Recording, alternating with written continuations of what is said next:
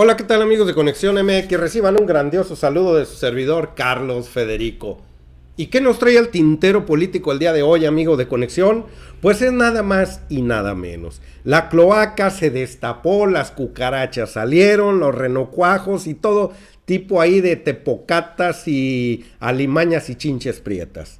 Las cantidades que reciben, recibieron, perdón, estos señores en el sexenio anterior, estos columnistas y periodistas que Andrés Manuel López Obrador ya no lo había prometido. Les voy a pasar ahora sí la lista de todos estos columnistas y periodistas a los cuales cuánto dinero se les pagaba por cada una de sus columnas, por cada uno de sus tweets, por cada una de sus menciones en Facebook. Ahora entendemos ¿Por qué nace un mentado tumbaburros de la noche a la mañana y lo hacen famoso? Nace un tal Van Pipe y lo hacen también famoso de la noche a la mañana. ¿Por qué tuitea todos los días Javier Lozano entre cuatro o cinco menciones en contra de Andrés Manuel López Obrador? Oscar Mario Beteta, eh, que es otro periodista, si no lo conoce, eh, está ahí en la radio y también está en la televisión. Oscar Mario Beteta es otro parecido a López Dóriga, el cual aquí según Secretaría de Hacienda y Crédito Público, lo facturado, cuánto le pagaban por cada tweet y por cada mención. Y vamos a ejemplificar en el 2018, cuando cada tweet que él emitía, cada mención en Facebook y en sus programas de radio, cuánto le pagaban a este señor por cada uno.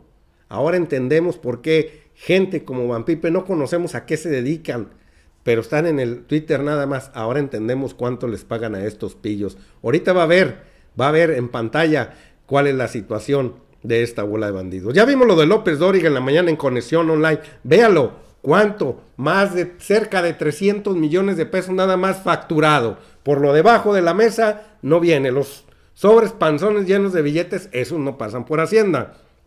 Pero facturado, nada más facturó este pillo cerca de 300 millones de pesos con Peña Nieto. Documentado Vuelvo a repetir, en la Secretaría de Hacienda y Crédito Público. Pero vayamos, amigo de conexión, pues ahora sí a la información. No sin antes saludar a mis amigos que colaboran allá en la Unión Americana, Estados Unidos, y por supuesto, mis amigos que están aquí en la República Mexicana, yéndonos hasta la Patagonia, y mis amigos que andan de vagos, de vagos por todo el globo terráqueo. Mire, aquí tenemos a la fauna política silvestre, eh, salvaje, ahora sí, Javier Lozano, Van Pipe, tumbaburros y las hijas de la MX, los cuales se la pasan tuite y tuite y uno decía, ¿y cuál es su negocio de esta bola de pillos? Sabíamos que eran pagados, pero no sabíamos las cantidades que les dan.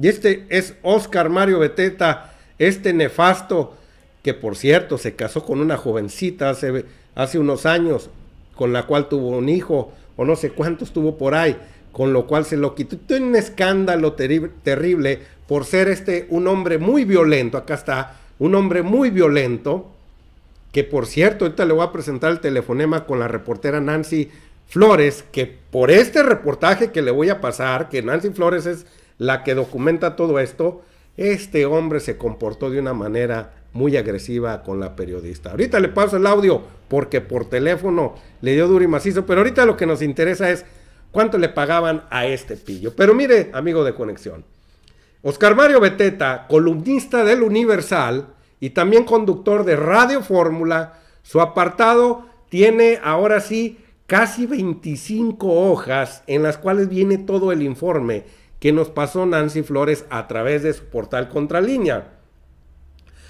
Entonces, en el 2018, la empresa, así se hacía llamar la de Oscar Mario, Mario Beteta, Comentaristas y Asociados SC, donde aborda la venta de menciones, hashtag menciones, de cada hashtag menciones que creaba este pillo en las redes sociales, en su arroba Mario Beteta, así se llama en Twitter, y en Facebook se hace llamar facebook.com diagonal OM Beteta por esas dos, fíjese bien lo que ganaba este pillo cuando en los, en los tiempos de Enrique Peña Nieto. El documento indica que el costo de un mensaje de este tipo en sus cuentas personales de Twitter y Facebook ascendía a 15 mil pesos masiva. Ok, ok, yo hago una mención ahorita en Twitter y si fuera Oscar Mario Beteta, si fuera un chayotero y otra mención en Facebook, ya eran 15 mil pesitos masiva.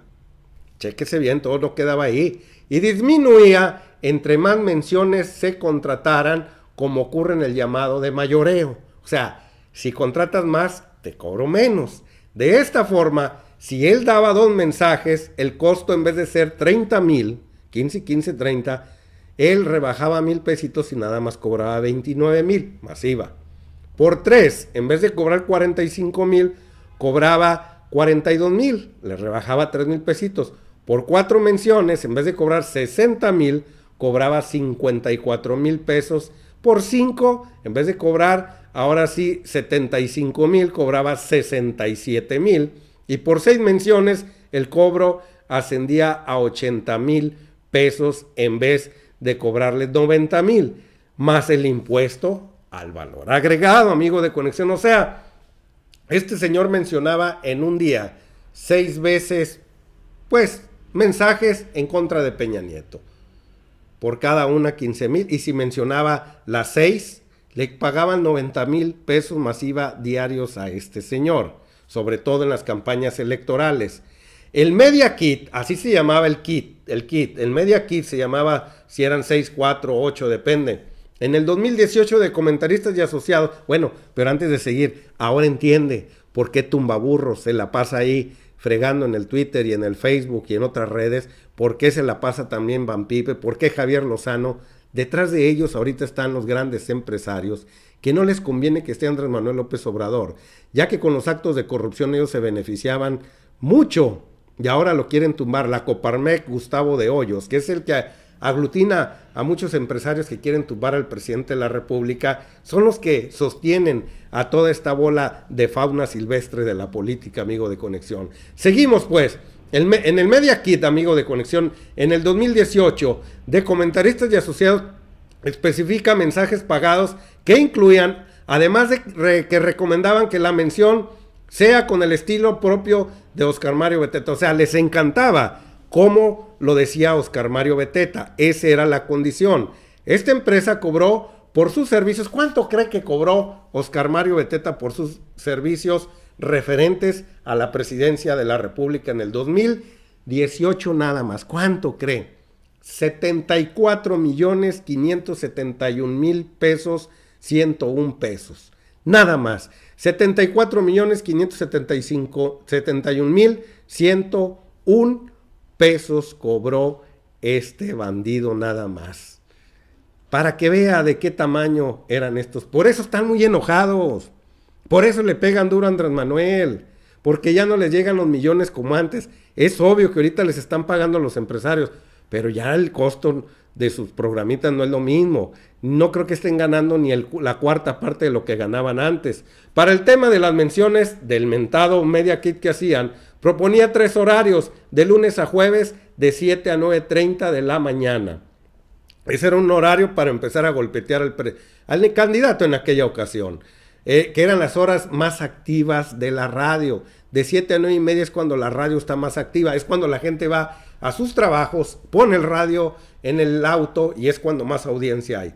De lunes a jueves de 1 a 4 eran las horas más activas de Facebook, o sea, de 1 de una de la tarde a 4 pm son las horas más activas del Facebook y de lunes a jueves de 1 a 3 pm son las horas más activas del Twitter.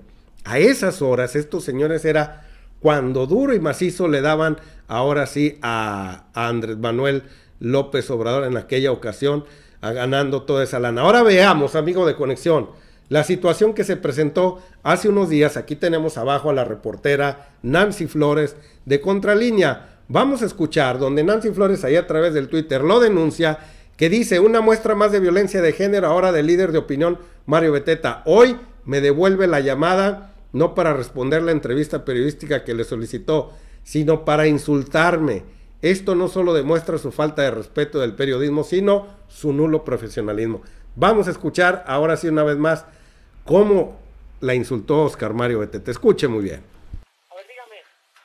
Buenas tardes, Oscar Mario, ¿cómo está? Dígame. Eh, mire, tengo un expediente que me entregó la presidencia vía transparencia después de que el INAI los obligó a entregármelo Vaya, punto rápido, no tengo tiempo. ¿Qué pasó? Oiga, ¿qué es contralínea? Yo tengo idea qué es contralínea. ¿Qué es eso?